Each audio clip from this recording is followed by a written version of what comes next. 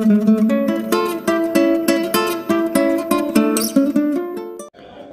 Friends तो आज की वीडियो में फ्रेंड्स हम बात करने वाले हैं कि किस तरह से हम एडिनियम के सीडलिंग को एडेनियम के सीड्स को काफ़ी अच्छे से इजली तरीके से ग्रो कर सकते हैं, क्योंकि फ्रेंड्स जो स्टार्टिंग में बिगनर्स होते हैं बिगनर्स में काफ़ी ये डिफ़िकल्ट इनको डिफ़िकल्टी का सामना करना पड़ता है, क्योंकि जब भी वो कोई सीड लगाते हैं तो वो ज़्यादा से ज़्यादा सीड जर्मिनेट नहीं होते हैं और वो उस मीडिया में ही रॉट हो जाते हैं। तो फ्रेंड्स आज की वीडियो खास करके बिगनर्स के लिए बहुत ही स्पेशल होने वाली है, क्योंकि इसमें इनको काफ़ी नॉलेज मिलने वाला है कि किस तरह से हमें एडनियम के सीडलिंग को ग्रो करना है।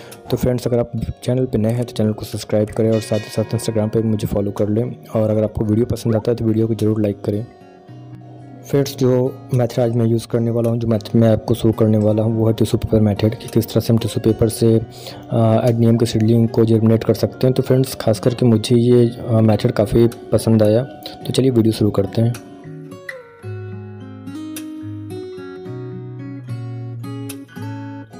तो फ्रेंड फ़र्स्ट स्टेप में मैंने एक छोटा पॉट लिया है। आप कोई भी एयरटाइट कंटेनर ले सकते हैं। और सेकेंड आपको लेना है टिश्यू पेपर तो फ्रेंड इस टिश्यू पेपर को हमें कम से कम थ्री टू फोर राउंड अच्छे से फोल्ड कर लेना है, जिससे एक अच्छी बेड तैयार हो, जिससे फ्रेंड्स से काफ़ी अच्छे से मॉइस्चर को ऑब्ज़र्व करेगा अपने अंदर।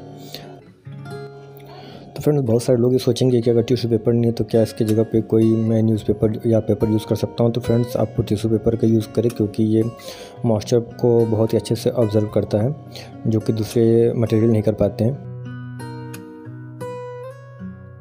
फ्रेंड्स अब जैसे यहाँ देख सकते हैं कि मैं एक दूसरे टिश्यू पेपर को यूज़ कर रहा हूँ तो फ्रेंड्स आपको थोड़ी ये मोटी बेड इसकी यूज़ करनी है, तैयार करनी है, जिससे अच्छे से मॉइस्चर को ऑब्ज़र्व करे और इसमें एक्सेस वाटर को जो भी है अपने अंदर ऑब्ज़र्व कर ले। तो जैसे कि देखिए, अब हमारा ये तैयार हो चुका है यहाँ पे एम के शेडलिंग को लगाने के लिए। अब नेक्स्ट स्टेप में फ्रेंड्स अब हमें इसमें वाटरिंग करनी है। तो फ्रेंड्स जब भी हमें वाटरिंग करनी है तो हमें स्प्रेयर की मदद से ही वाटरिंग करनी है, क्योंकि इससे हमारा एक्सेस वाटर नहीं जाएगा। और अब जैसे कि आप देख सकते हैं कि मैं बहुत ही हल्का वाटर यूज़ कर रहा हूँ। और फ्रेंड्स आप फिंगर की हेल्प से टच करके देख सकते हैं कि हमारा टिश्यू पेपर अगर आपको हार्ड लगता है तो आप इस पर वाटरिंग करें। और अगर लगता है कि वाटरिंग करने के बाद ये सॉफ्ट हो चुका है तो आप इसे बहुत ओवर मोस्ट ना करें। तो फ्रेंड्स अब कुछ सीडलिंग मैंने ले ली है इस लगाने के लिए तो चलिए इसको एक एक करके टिश्यू पेपर पे रख लेते हैं फ्रेंड्स तो फ्रेंड्स अगर आप चाहें तो जैसे मैं कोई यहाँ पे पॉट यूज़ कर रहा हूँ क्योंकि मेरे पास बॉक्स अवेलेबल नहीं था तो फ्रेंड्स अगर आपके पास कोई अगर बॉक्स एयर टाइट कंटेनर मिल जाए तो काफ़ी अच्छा होता है क्योंकि इसमें आपको काम करने में काफ़ी ईजी रहता है। आ, मेरे पास नहीं था इसलिए मैंने एक छोटे पॉट का यूज़ किया है। तो फ्रेंड्स चलिए मैं रख लेता हूँ सारे शीट्स को इस पर तो फ्रेंड्स, मैं यहाँ पे सीड्स को रख दिया टिश्यू पेपर पे और अब इस पर हल्का सा मॉइस्चर करने वाले हैं जिससे सीड हमारा गीला हो जाए। और फ्रेंड अब नेक्स्ट स्टेप में हमें एक बहुत ही थिन लेयर टिश्यू पेपर का फिर से लेना है और इससे अब हमें रखना है सीडलिंग के ऊपर में।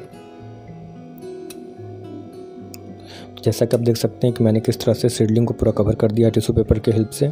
और फ्रेंड्स फिर से इस पर हमें हल्का सा वाटरिंग करना है, बहुत ही ओवर मॉइस्ट नहीं करना है जिससे हमें, हमारे सीड को ऊपर और नीचे साइड दोनों साइड से मॉइस्चर मिलता है तो फिर नेक्स्ट स्टेप में अब इसे हम रखने वाले हैं एक पॉली पॉलीथीन में। अगर आपके पास बॉक्स है तो आप कवर उसका लगा सकते हैं, मैं पॉलीथीन का यूज़ कर रहा हूँ। और पॉलीथीन में रखने के बाद फ्रेंड्स अब इसे हमें रखना हाँ कम से कम twenty four hours minimum twenty four hours के लिए रूम टेम्परेचर में रूम में रख सकते हैं आप और आप इससे डार्क प्लेस पे भी रख सकते हैं। आपको उसको डायरेक्ट सनलाइट में नहीं रखना है।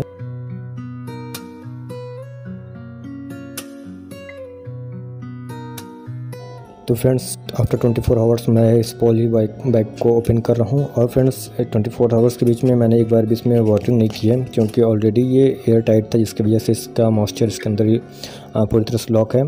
तो फ्रेंड्स कुछ इस तरह से हमारा सीट ट्वेंटी फोर आवर्स के बाद है। तो चलिए इसके ऊपर में जो भी ये टिश्यू पेपर इसको हटा लेते हैं। तो फ्रेंड्स जैसे हमारा शीट देख सकते हैं कि 24 फोर आवर्स के बाद काफ़ी अच्छे तरीके से ये मॉइस्चर को ऑब्ज़र्व कर चुका है और इसके ऊपर का कवर बिल्कुल अच्छे से हट गया है। और फ्रेंड्स इसके ऊपर एक थीन लेयर होती है वाइट कलर की, उसको भी हमें हटाना है, जिससे हमारा जर्मिनेशन काफ़ी अच्छा हो जाता है, इसका रेट सक्सेस रेट काफ़ी अच्छा बढ़ जाता है। तो जैसे कि आप देख सकते हैं कि ये ऊपर की थीन लेयर जो वाइट कलर की थी, मैंने हटा लिया है। तो फ्रेंड्स आपको सेम मेथड सेम प्रोसेस करना है और इसके ऊपर का ये जो थिन लेयर इसको हटा लेना है तो जैसे कि आप ये दूसरा भी देख सकते हैं दूसरे सीट को मैं किस तरह से कर रहा हूँ। तो फ्रेंड्स आपको हल्का से इसके छिलके के ऊपर का हटाना है और इसको हल्का से पिंच करने के बाद ये बिल्कुल ईजिली सीट निकल सकता है। और फ्रेंड्स जैसे कि आप देख सकते हैं कि सीट थोड़ी थोड़ी स्लिप करती है फ्रेंड्स हाथ में स्टार्टिंग में, क्योंकि मॉइस्चर इसके अंदर रहता है तो अभी देख सकते हैं कि मैंने इसको कैप हटा लिया है। तो फ्रेंड्स ये लास्ट बार और देख लेते हैं इसका स्लो में थोड़ा कि किस तरह से हमें अनिल की हेल्प से ऊपर के कवर को हटाना है। और फ्रेंड्स इसके कवर को हटाने के बाद हमें बस इसे हल्का सा हाथ से हाथ प्रेस करना है, जिससे ये ऑटोमेटिक इसके कवर में से ऑटोमेटिक आ जाता है। तो फ्रेंड्स यहाँ देख सकते हैं कि जैसे ये सीड है। सीड को प्रेस करना है हल्का सा हमें डाउन साइड में और ये इसका कवर बिल्कुल इजी तरीके से निकल जाता है। तो फ्रेंड्स आपको इस बात का ये ध्यान रखना है इसमें कि जो, जब भी हमें इसे प्रेस करना है तो ये हमारा लिप साइड है और ये हमारा रूट साइड है। तो हमें इसके डाउन साइड में ही प्रेस करना है तो आपका बहुत ईजी निकल जाएगा ये।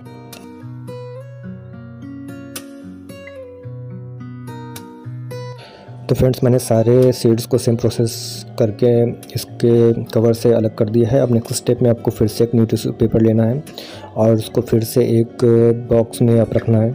और फिर फ्रेंड्स सेम मेथड हमें यूज़ करना है। इसमें हल्का, हमें बहुत ही हल्का मॉइस्चर बनाना है। बहुत ही ओवर वाटरिंग नहीं करनी है। और फ्रेंड्स जैसे आप देख सकते हैं कि मैं यहाँ पे फिंगर की हेल्प से टच करके देख रहा हूँ कि ये कितना सॉफ्ट हुआ या नहीं हुआ है। अगर आपको सॉफ्ट लगता है तो इसमें वाटरिंग करने की ज़रूरत नहीं है। अगर आपको हार्ड लगता है टिश्यू पेपर तो आप इसमें फिर से वाटरिंग कर सकते हैं। जैसे आप देख सकते हैं, मैं वाटरिंग कर रहा हूँ इसमें।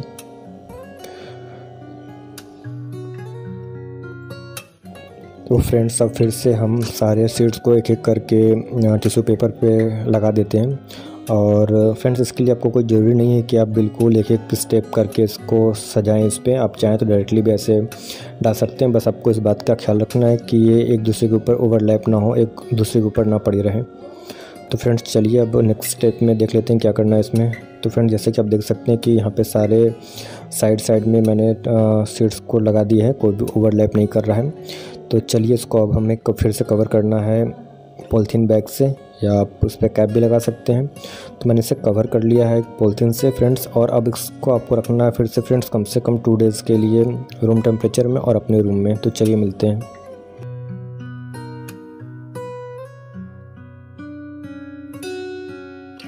तो फ्रेंड्स आज बिल्कुल दो दिन कंप्लीट हो चुके हैं सीड्स को इसमें रखे हुए। और फ्रेंड चलिए इसको ओपन कर लेते हैं और देखते हैं अंदर में हमें कुछ ग्रीन ग्रीनिस फील हो रहा है। तो देखते हैं क्या रिज़ल्ट रहा है। दो दिन के बाद क्या सीड में जर्मिनेशन आई है। तो फ्रेंड जैसे कि आप देख सकते हैं कि हमारा यहाँ सीड काफ़ी अच्छा जर्मिनेट किया है और बिल्कुल स्ट्रेट ग्रो करना स्टार्ट कर दिया सिर्फ़ दो दिन में ही।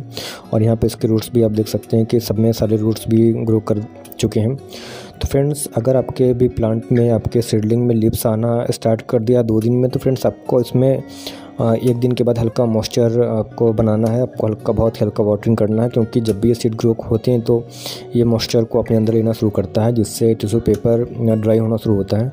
तो मैंने इसमें एक बार वाटरिंग की थी, इसके मॉइस्चर को मेंटेन करने के लिए।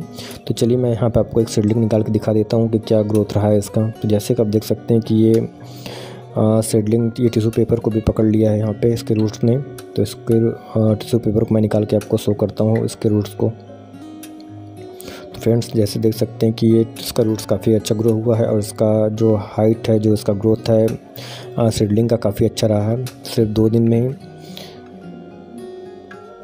आप यहाँ देख सकते हैं कि बिल्कुल मेरे फिंगर के हाफ़ इंच तक इंच से ज़्यादा ये ग्रो कर चुका है। तो फ्रेंड्स ये काफ़ी अच्छा मेथड रहा टिश्यू पेपर मेथड यूज़ करने के लिए, खास करके बिगनर्स के लिए। इस फ्रेंड्स खास करके इस मेथड को यूज़ करके बिगनर्स के जो भी सीडलिंग या सीड्स ख़राब होते थे, वो बचेंगे। तो फ्रेंड्स यहाँ पे मैं एक बार सारे टिश्यू पेपर को निकाल ले रहा हूँ, जिससे अब हमें सीडलिंग को अलग कर लेना है, क्योंकि अब हमें इसे रिपोर्ट भी करना है। तो फ्रेंड जैसे कि आप देख सकते हैं कि सीडलिंग दो दिन में काफ़ी अच्छे से रूट्स डेवलप कर ली है और टिश्यू पेपर को इसने बहुत अच्छे से पकड़ लिया है। तो चलिए सब हम निकाल लेते हैं। तो फ्रेंड्स यहाँ पे मैंने सारे सीडलिंग को निकाल लिया है और अब देख सकते हैं कि इसके रूट्स काफ़ी अच्छे ग्रोथ हुए हैं और इसका पूरा ओवरऑल ग्रोथ भी काफ़ी अच्छा रहा है। तो फ्रेंड्स, अब हमें इसे लगाना है। तो चलिए फ्रेंड्स, देखिए, मैंने यहाँ पे पहले से मीडिया तैयार करके रख लिया है। तो इसमें मैंने सिक्सटी परसेंट, कोकोपीट और फोर्टी परसेंट वर्मी कम्पोस्ट का यूज़ किया है।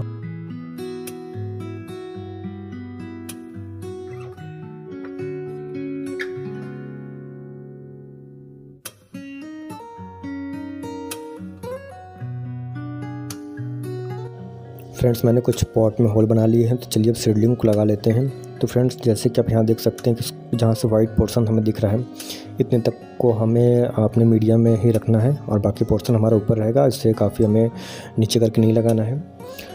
तो जैसे कि आप देख सकते हैं कि मैंने फ़र्स्ट सीडलिंग को रिपोर्ट कर दिया है और ये सेकंड सीडलिंग हमारा फिर से इसी तरह हम लगाने वाले हैं इसमें। जैसे कि आप यहाँ तक देख सकते हैं वाइट पोर्शन इसका तो इस वाइट पोर्शन को हमें फिर से अपने मीडिया के अंदर रखना है।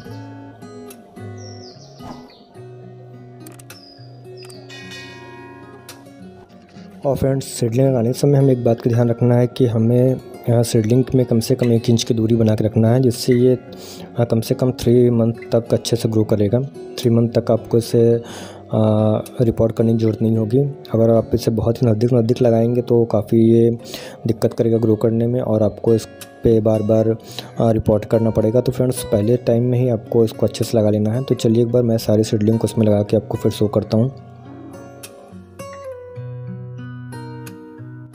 तो फ्रेंड्स, यहाँ पे आप जैसे देख सकते हैं कि मैंने सारे सीडलिंग को लगा लिया है और ये आप देख सकते हैं कि मैंने कैसे गैप रखा है सारे सीडलिंग के बीच में। और फ्रेंड जैसे कि आप बीच में कुछ सीडलिंग को देख सकते हैं जो कि हल्की मुड़ी हुई है, बेंड यू शेप में है। तो फ्रेंड्स, ये कुछ समय के बाद ऑटोमेटिक स्टेट हो जाएँगी जब इनमें प्रॉपर सनलाइट मिलेगा तो। और फिर नेक्स्ट स्टेप बहुत इंपॉर्टेंट इसमें मैं इसमें वाटरिंग कर रहा हूँ और जो कि मैंने फंजीसाइड वाटर और इसमें ऑलरेडी वाटर मिला कर रखा हुआ है। तो फंजीसाइड वाटर से आपको स्प्रे करना, जिसमें ये फंगस से बचे रहें। तो फ्रेंड्स, चलिए लास्ट स्टेप की बात कर लेते हैं। तो फ्रेंड लास्ट स्टेप में हमें इसमें एक कवर लगा देना है, जो कि हमें बिल्कुल एयर टाइट नहीं करना है। हमें इसे बस ऊपर से कवर कर देना है, जिससे इसमें हम ड्यूटी बने रहें। और फ्रेंड्स, दो दिन के बाद हमें इस कवर को हटा देना है, और ये आपका प्लांट ग्रो करने के लिए तैयार हो जाएगा। तो फ्रेंड्स, आपको वीडियो कैसा लगा? वीडियो से रिलेटेड कोई भी क्वेश्चन हो तो आप मुझे कमेंट सेक्शन में ज़रूर पूछ सकते हैं। और वीडियो पसंद आया हो तो लाइक करें चैनल को सब्सक्राइब करें, और दोस्तों को शेयर ज़रूर करें। Thanks for watching